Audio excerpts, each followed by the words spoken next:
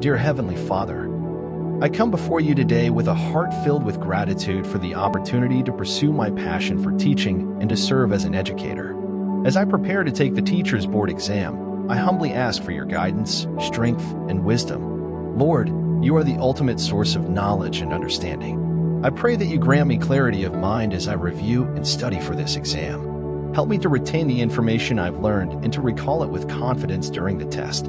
Please calm my anxieties and nerves, replacing them with a sense of peace and assurance. Allow me to focus on the questions before me and to answer them to the best of my abilities. I ask for your blessing upon the examiners and those who will be assessing my performance.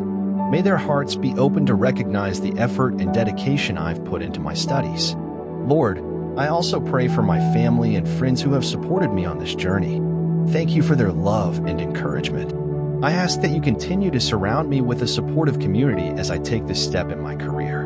Above all, help me to remember that my purpose as a teacher is to make a positive impact on the lives of my students and to contribute to the betterment of society.